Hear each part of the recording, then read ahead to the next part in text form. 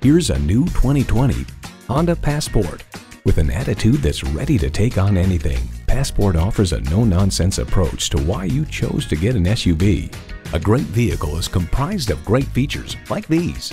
V6 engine, dual zone climate control, streaming audio, configurable instrument gauges, manual tilting steering column, remote engine start, external memory control, aluminum wheels, doors and push button start proximity key, and LED low beam headlights.